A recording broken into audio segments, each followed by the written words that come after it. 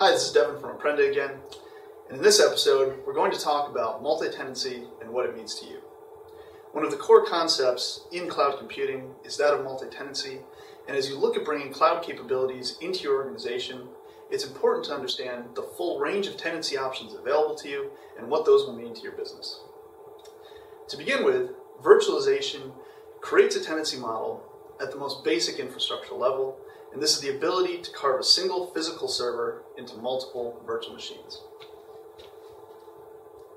So if we look at a single, in this case, large physical server, we have the host OS,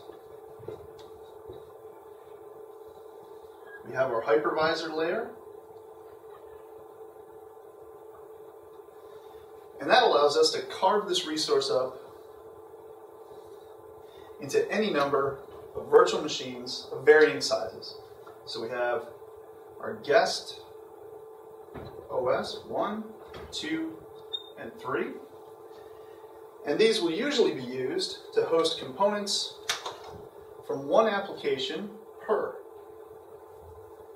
So this is hosting a full app or components of application 1. This machine might be dedicated to application 2, and this one might also be dedicated to application 2, meaning these two machines now form their own silo. What we're looking at here, again, this is the virtualization paradigm, but this is also what's under the hood of infrastructure as a service. It's just that infrastructure as a service, or often called private cloud, And these constructs are the same in public, but as usual, we're talking about the context of private.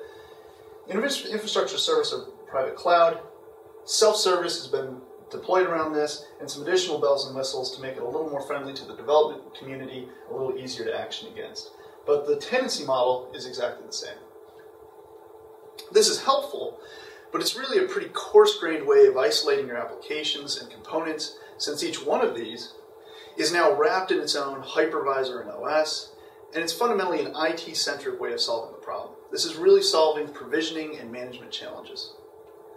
Moving up the paradigm, we have platform as a service. And PaaS will take the tenancy concept one step further. So with platform as a service,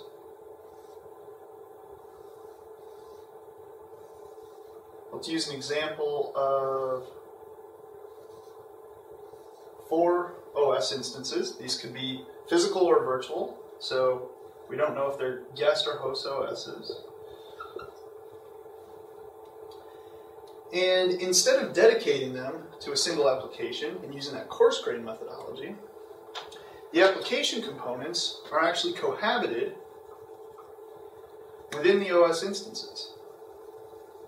So each one of these OSs might be hosting components from one or more applications.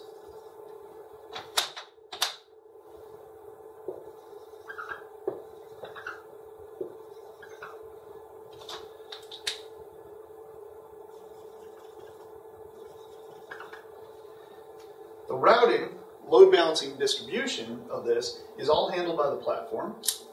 And the platform is what actually creates the isolation around these different processes so that they don't conflict with one another and so that they only consume the amount of resources that are allowed and governed by the platform. This is a much more fine grained way of hosting and cohabiting your application components rather than dedicating individual OS instances for them. This is a much more developer centric model because what it's doing is abstracting the applications away from the infrastructure so that the devs don't really have to focus or worry about the IT aspect of this. And ops, on the other hand, can now focus on man- managing a single large resource pool because this is their responsibility, right? These base OSs. And can look at the application portfolio as a whole rather than dealing with here's one silo, here's another one that we have to deal with. The third layer of tenancy, and this is the, the final layer we'll talk about today, is within the application itself. And this is the tenancy model that is really popularized by software as a service leaders like Salesforce.com, NetSuite, folks like that. And it's really the ability to run a single instance of application that serves the needs of multiple distinct end user groups. Each one of them being isolated from the other in terms of performance and their data needs. So if we look at a single application, app 1, it might be serving the needs of tenant 1, tenant 2, tenant 3, each of which might have multiple end users. So here you have three different tenant groups or organizations, each of which with multiple end users, all accessing one instance of the application running, one instance of the code base, but getting a completely different experience potentially, getting completely different data, which is being isolated by the platform or uh, application intellectual property underneath it. It means you don't have to stand up multiple instances of those instances of that application.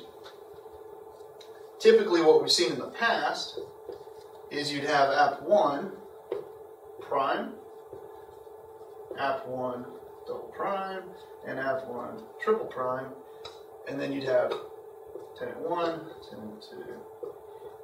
And these wouldn't really be tenants, these are more just group one, two, and three at that point.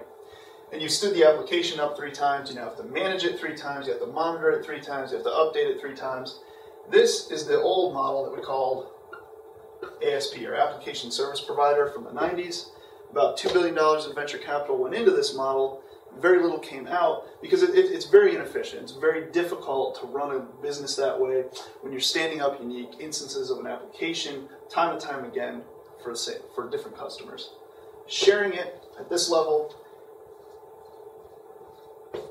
using the software as a service paradigm is far more efficient both in an internal context and as a software business itself.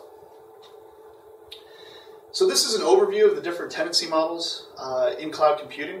Again, it's important to understand the differences between infrastructure as a service, platform as a service, and software as a service, and the different tenancy models they provide. To remind you, infrastructure as a service, this is IT-centric. This is very dev-centric.